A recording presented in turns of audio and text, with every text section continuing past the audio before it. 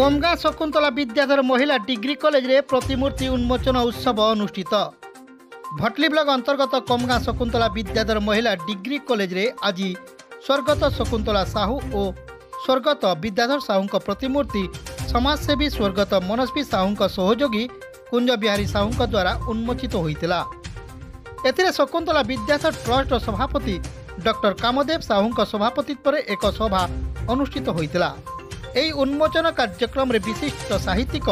मनोरञ्जन साहु ट्रष्ट संपादक लोमोदर साहू, ट्रस्टी सदस्य रञ्जित साहु रबिनारायण साहू, सुप्रभा साहू, अध्यापिका सुबन्दिता मिश्र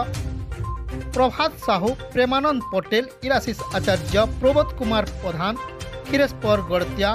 भगवान प्रधान कमगासर पद्मयन्ती नायक समिति सभ्या भारती बेहेरा महिला कल्याण केन्द्र भटली र सम्पादक ସଞ୍ଜୟ ପ୍ରଧାନ ସୁଶୀଲ ସାହୁ ଚୈତନ୍ୟ ଭୋଇ ମହାବିଦ୍ୟାଳୟର ଅଧ୍ୟକ୍ଷ ଡକ୍ଟର ରତିକାନ୍ତ ସାହୁଙ୍କ ସମେତ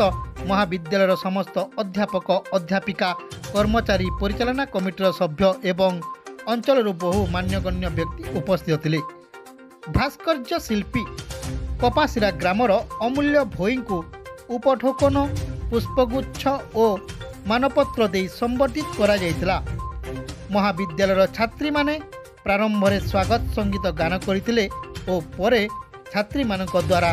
ସାଂସ୍କୃତିକ କାର୍ଯ୍ୟକ୍ରମ ଅନୁଷ୍ଠିତ ହୋଇଥିଲା